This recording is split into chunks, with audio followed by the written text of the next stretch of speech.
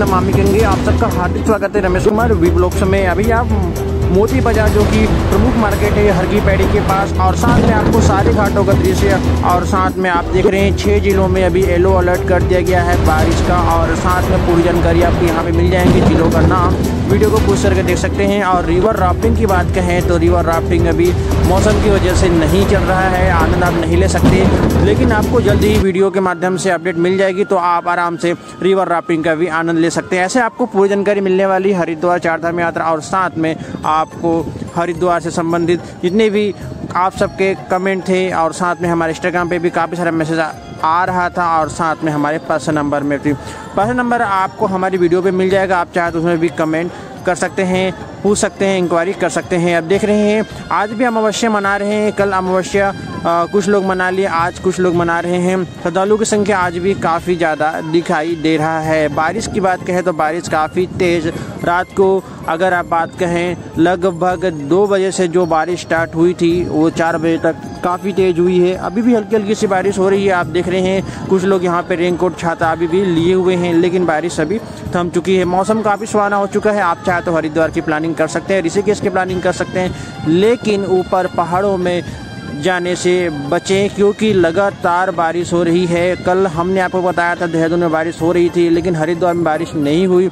वो काफ़ी सारे जगहों में ऐसा ही हो रहा है कि कहीं पे बारिश हो रही है, कहीं बारिश नहीं हो रही है, जिसकी वजह से श्रद्धालुओं को काफ़ी ज़्यादा चिंता करने की ज़रूरत है। काफ़ी परेशानी हो सकती है। अगर आप फैमिली के साथ हैं, यंग है तो कोई दिक्कत नहीं है आप आराम से कहीं कभी यात्रा कर सकते हैं। थोड़ी परेशानी हो सकती है, आप वो परेशानी झेल भी सकते हैं। लेकिन परेशानी फैमिली के साथ है तो आप नहीं झेल पाएँगे, क्योंकि काफ़ी ज़्यादा रास्ते बंद हो जाते हैं। लेट्स लाइन की वजह से जगह जगह रास्ते बंद हो जाते हैं। तो पहले चलते हैं आपको सारे घाटों का दृश्य दिखाने से पहले। अभी हम जा रहे हैं प्रमुख द्वार की ओर और, और प्रमुख द्वार से जब हम आएँगे तो हर की बड़ी नए घाट महिला घाट सारे घाटों का दृश्य आपको दिखाएँगे।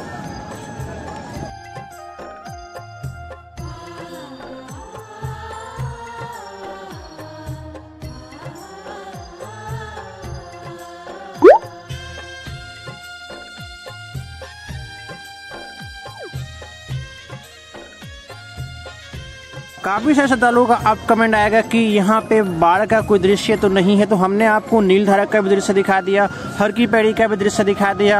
आप अगर कंखल जाना चाहते हैं तो कंखल का भी हमने दृश्य दिखा दिया। सारे जगह जल की धारा नॉर्मल है तो आप हर की पैड़ी हरिद्वार में कहीं भी भी घूम सकते हैं, किसी बारे कोई दिक्कत नहीं है। यहाँ पे देख रहे हैं काफ़ी ज़्यादा चप्पल ऐसे ही बाहर में छोड़ देते हैं। जब आप आएँगे तो आपको ढूँढने में काफ़ी ज़्यादा परेशानी होगी। जूता स्टॉल में ही आप चप्पल रखें, जो कि निःशुल्क है। किसी प्रकार की शुल्क आपको नहीं देना पड़ेगा। प्रमुख घाट ब्रह्मकुंड की ओर जाने के लिए आपको जूता चप्पल बाहर रखने की ज़रूरत होती है। जैसे कि हम अभी जा रहे हैं ब्रह्मकुंड के दूसरे ओर संजय सेतु पार करके तो हम आपको दिखाएँगे कि उधर चप्पल जूता रखने की ज़रूरत नहीं होती बाहर। चलते हैं आपको आगे का दृश्य दिखाते हैं।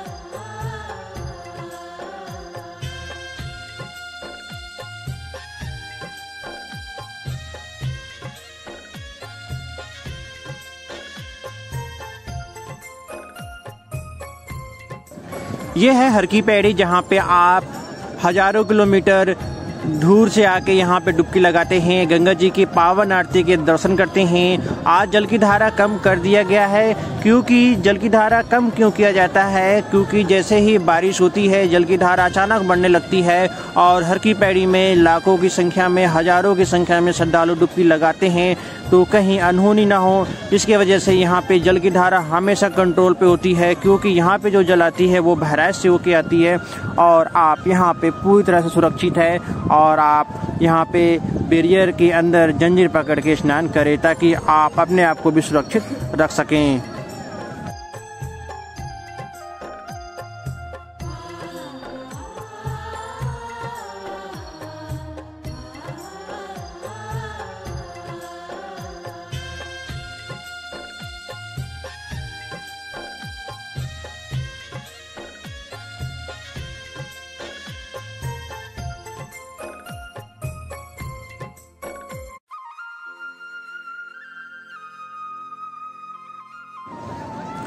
काफ़ी सारे श्रद्धालु हरिद्वार में जो होती है संध्या की आरती, जो कि काफ़ी ज़्यादा रस होता है, श्रद्धालुओं की संख्या काफ़ी ज़्यादा होती है उस टाइम तो आरती के लगभग दो से तीन घंटे पहले आके जो आपको सीढ़ियाँ दिखाई दे रही है सामने, यहाँ पे ही गंगा जी के आरती के पावन दर्शन अच्छे से होते हैं। तो लगभग आप डेढ़ से दो घंटे पहले आके यहाँ पे बैठ जाएँ। आरती का एग्जैक्ट टाइम का है तो छः बज के पैंतालीस मिनट है।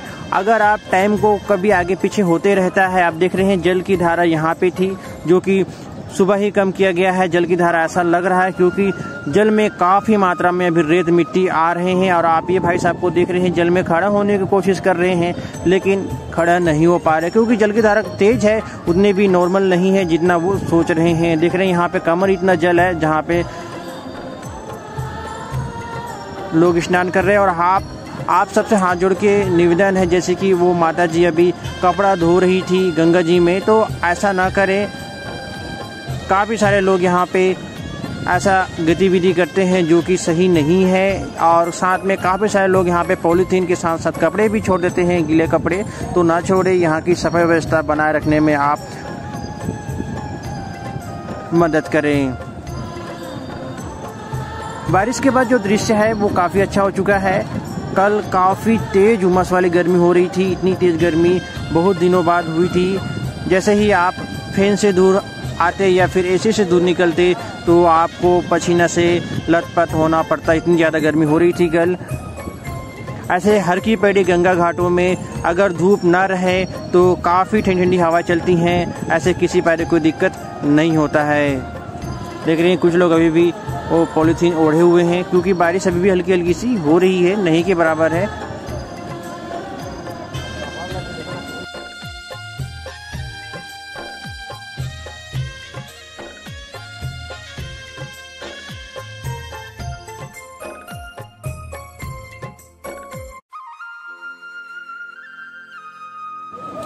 ये आप देख रहे हैं, सबसे बड़ा घाट है ये मालवी घाट और मालवी घाट में ये श्रद्धालु जो कि है स्टंट करने की कोशिश कर रहे हैं। चोट लग सकती है, सामने बड़ा सा पत्थर आपको दिख रहा होगा, जल जिसके ऊपर से आ रहा है।